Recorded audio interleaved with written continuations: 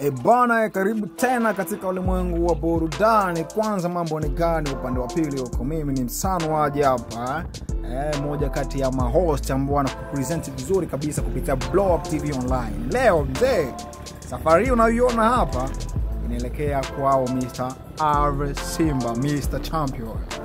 Eh, safari ilikuwa ni ngumu ngumu kabisa.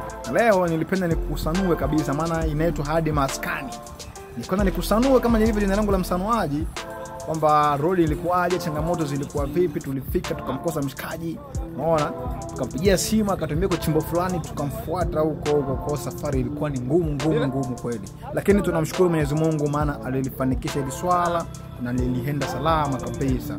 Fanya kazi na kazi ikaisha bana. Nikukaribishe tu uweze kuenjoy exclusive nzuri kama na hii kutoka kwangu mimi msanuaji, na leo nakusanua stori moja kubwa sana kutoka kwa mshikaji, maana juzi kati hapa alichukua tunzo eh, tarehe 30 alikuwepo pale kwenye uzinduzi wa EP ya Mr. Nyagomen ambayo inaenda kwa jina la mwana wa Fizi, lakini mzee, baada ya ishu kuanza, yani ile shughuli yenyewe kuanza, mwamba alipotea. Kwa nini alipotea? Majibu ya maswali yote ambayo tunajiuliza, yeye mshikaji ndo anayo. Alafu tena yasitoshe hapa, tarehe saba mwezi huu itakuwa ni Jumaa hii ambayo tunaifuata hapa mbele, mshikaji ana show kwao. Kuna mengi sana ambayo usioyajua natakiwa uyajue kupitia huyu mshikaji kwenye blog TV Online. Ni kombe tu ngana nami uenjoy vitu vizuri, karibu sana.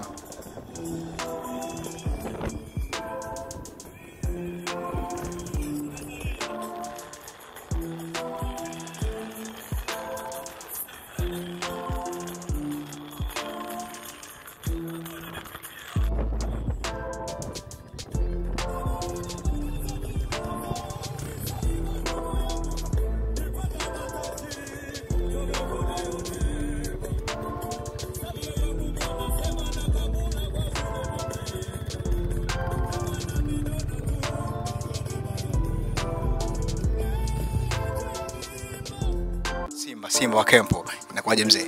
fresh ni aje? Kama kawa. Anamshukuru mungu. Harakati. Mungu anambariki sana. Udamshi kila leo. Yeah bro. Champion. boy. Ilikuwaje ile idea kwanza? ah, ni idea ambazo zipo na zinaishi. Tumeasoring na hapa ambapo tumefikia inabidi tushukuru na tujite mashampion maana tumechukua tunzo hivyo yeah, iko hivyo Tukaziona pale kwenye challenge, tunzo zinaonyesha Yeah. champion kama champion. Hongera sana, unafanya kazi nzuri sana. asante sana bro. Ah, na wewe ni mmoja kati ya wasanii ambao wanatutambulisha kwa mazingira ya nyumbani hata nje ya nyumbani. asante asante mungu anambrace sana isi Jema sana. Uh, wana Blob TV au wapenzi watazamaji wa Blob TV wangependa wafahamu short story ya life story yako ya mziki mpaka hapo ulipofikia kwa kule kule ulikotokea. Ah, hiki ni kipaji nilianza toka utotoni nikaanza kuimba hivyo kwanza nilikuwepo densa densa wa kudensi nyimbo fulani zile za, za bolingo zile. Ya ko nilikaa sana kule ikafika ikafikia time nikapata bahati ya kurekodi nyimbo yangu ya kwanza kabisa mimi niingia studio ilikuwa inaitwa bado. Ya nikutoa bado nikakaa sijui miaka miwili sitoe nyimbo.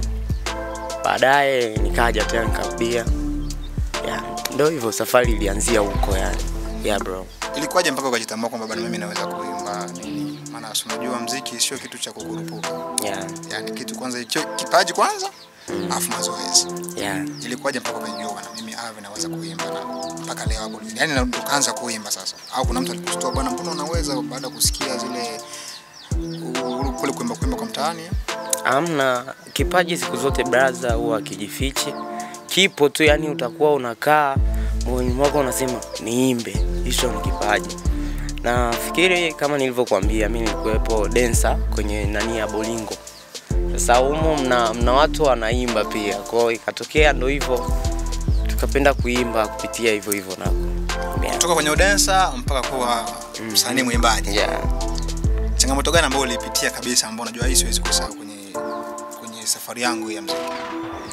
Uh, kipindi na nafanya nyimbo na Badest nimepitia changamoto nyingi sana ambazo sikuzipenda na sitokaa nizisahau kabisa. Ya kwenye video yani tushaanda audio tushamaliza, inabidi tuingie location kushuti.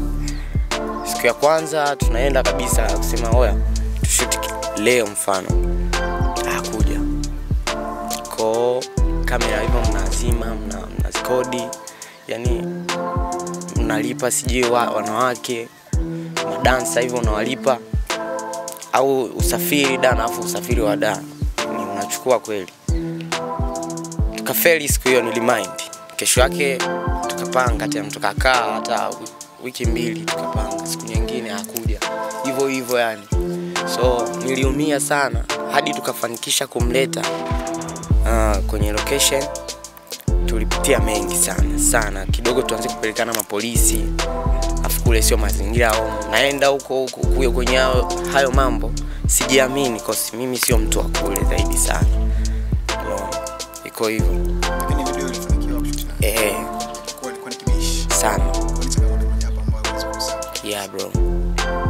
Ah, sawa. Ni ushafikia mafanikio ambayo ulikuwa unatarajia baada ya kuanza mziki wako? bado bado. Hata kwa asilimia kadhaa. Um, kwa hapa ni mshukuru mungu ila siwezi nikalizika Bado. bado sana Unapenda yani lengo lako kuwa unapenda ufikie wapi wewe? Ah. Kwamba hapa sijafikia. kila msanii ana malengo ya kusema niimbe kwenye nchi nisikike kwenye nchi fulani ya iko hivyo na ndo malengo ya kila msanii yalivyo so na ndo hivyo hivyo pia Wewe nchi gani ambayo unapenda uimbe bado usikike popote mungu atablesi hapo hapo hivyo Lakini cha kubwa kusikiliza. ya iko hivyo Ah, ni njema sana. Yeah. Ah, majuzi kati hapa kuna issue ilitokea. Kuna mshikaji wetu ambaye ni mwanetu wa tasnia ya muziki hapa nyumbani alikuwa anazindua EP yake ambayo ni Nyakomani. Sawa. Pale ulionekana nje, yani niseme nje ya ukumbi ulionekana pale, afu baadaye ukaingia mitini. Ile ilikuwaje kwanza? ya kulitokea kitu fulani ambacho siku- sikukipenda ndo kwa maana nilitoka pale. Na yani kifupi upishani kwa maneno na chengine hawakutambua uwepo wangu wa mimi kuwepo pale. Maana sikuenda kujipendekeza pale ila nilialikwa na mwenyewe mwenye ile sherehe ndo alinifuata akaja kunipa. Lakini siku ile mapokezi ambayo alinipokeaga sikupenda kwa maana eh, kwa maana mtu kama Nyagomani hawezi akaniambia mimi kuwatu eti kipindi nilikuletea mnani aliko uniletea mieyusho tena kwa watu. Eh, kwa mimi sikupenda. Nikaona mtu ashakwambia hivyo bro, tena unaendelea kukaa pale kwa nini? Kabidi nipotee. Baada ya tukio, mawasiliano yako na yeye Ah, mi huwa Nyagomani sio mwanangu na huwa tulifanyaga tu kazi kipindi hicho mi na Grand Music, ila kuna eti ule ushikaji oya, yani yale mazoea hatuna. Kwao niseme tu ma, mawasiliano yangu mi naye kama haya haya tu, yani hatunaga zile shobo nini, ya iko. Champion. boy. Sasa leo, sijui niseme leo, sijui niseme jana.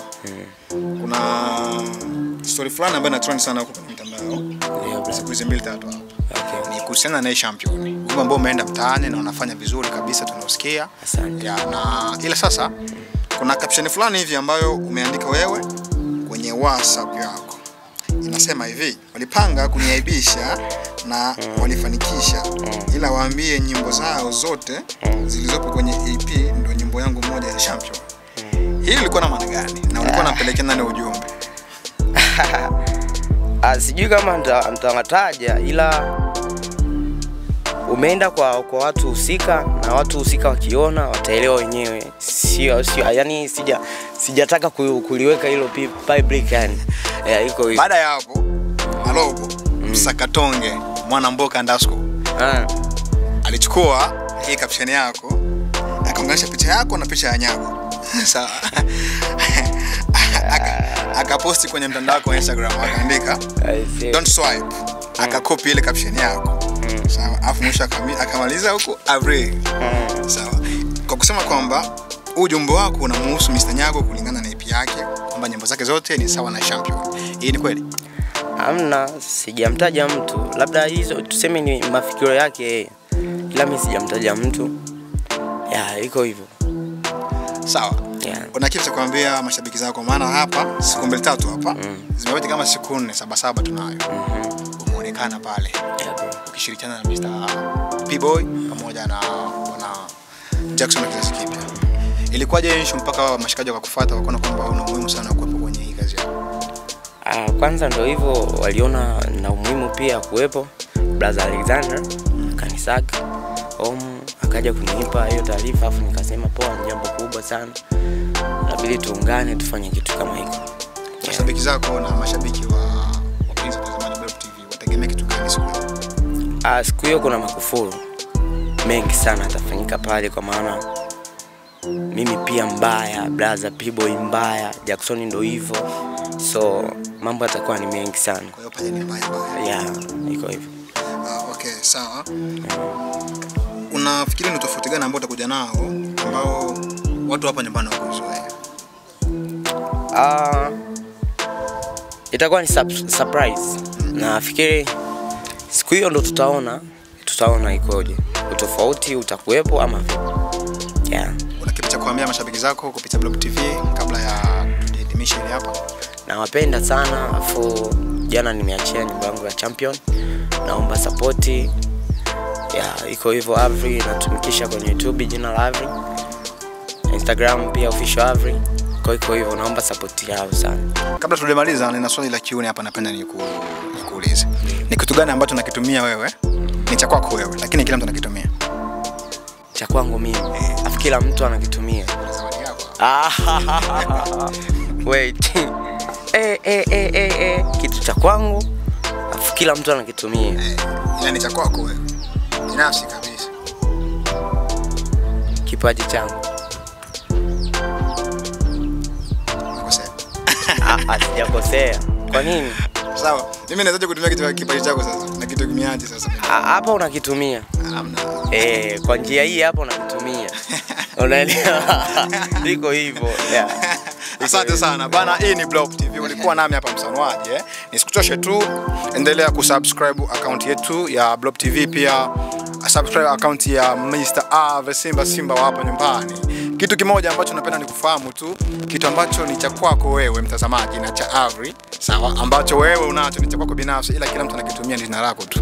Kila mtu anakuita Avri, kila mtu ananiita Block. Msanuaji hapa. Asante sana kwa muda wako.